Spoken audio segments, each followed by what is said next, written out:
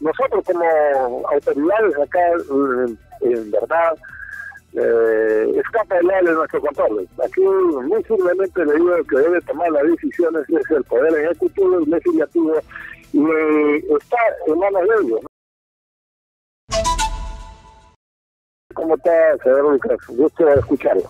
Eh, por favor, cuéntenos eh, eh, cuál es exactamente la situación en la que están ustedes a, raíz de los bloqueos.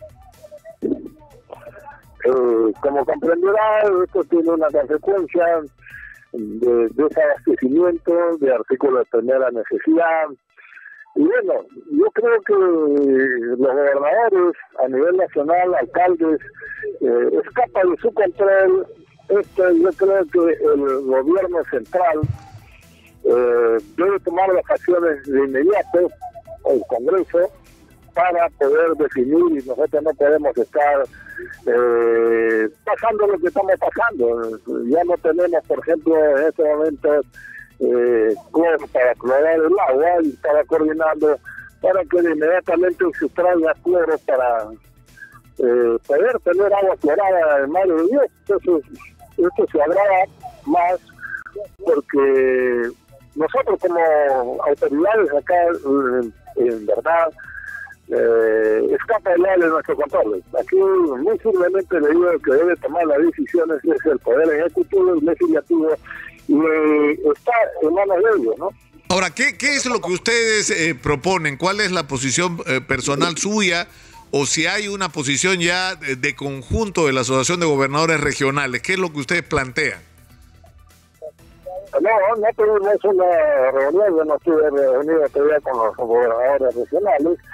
Eh, lo que sí, acá estamos viendo nosotros eh, traer por medio de chartes alimentación para la población, eso por supuesto me compete, pero eh, como lo dije, aquí las cosas son eh, más serias, en la cual debe solucionarse ya, porque no podemos vivir secuestrados por personas que están tomando carreteras.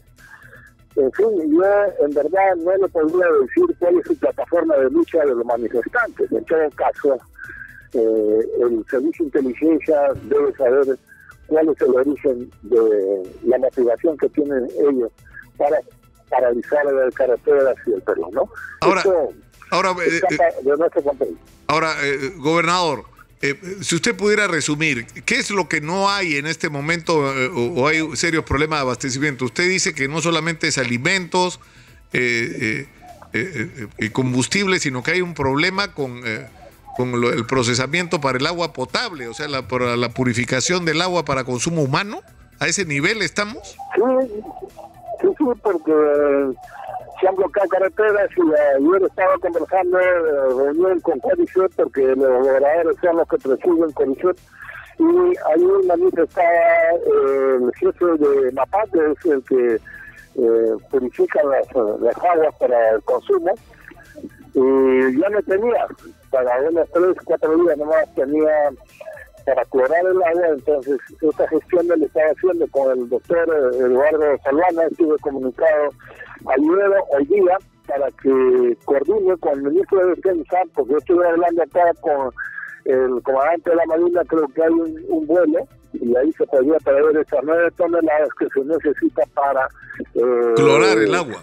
Clorar el agua, sí, en Maldonado, y de esa manera tenga pues, calidad de agua acá en Maldonado. A ese extremo estamos llegando y por eso digo, o sea, el que tiene acá eh, la necesidad de resolver esto es la eh, el poder ejecutivo, legislativo, o sea, a ese nivel es donde se deben determinar las decisiones para poder eh, eh solucionar Ahora, eh, hay, algo que no, que no entiendo, gobernador. ustedes no han sido eh, convocados a reuniones, hay, hay, hay un flujo de comunicación con el gobierno central.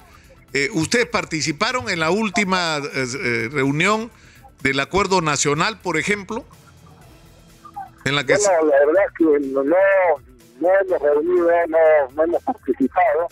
Y, bueno, estamos en, en ese momento para poder nosotros determinar qué es lo que eh, si debe ser urgente para solucionar el problema, ¿no? Porque no se puede tener más eh, problemas de, de, de esta naturaleza. Ahora, se, se, escuchan voces. ¿Hay, ¿Hay una protesta en este momento en Puerto Maldonado? Ahí estamos, sí, sí.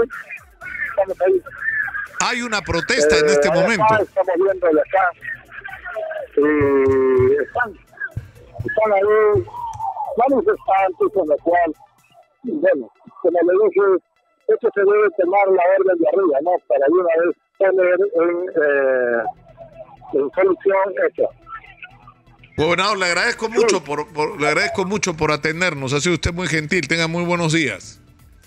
Es muy, muy complicada la situación, madre de Dios, ¿ah? porque por las características particulares que tiene, si bloquean las carreteras, no hay alimentos, no hay eh, abastecimiento de combustible, como lo acaba de revelar el gobernador, ya tienen un problema serio de abastecimiento de los productos necesarios para clorar el agua, es decir, para potabilizar el agua tienen para tres días más. Dentro de tres días en Puerto Maldonado no habrá agua potable. Esa es la situación dramática. Y la solución que se está planteando, mientras se resuelve el tema de los bloqueos, que la solución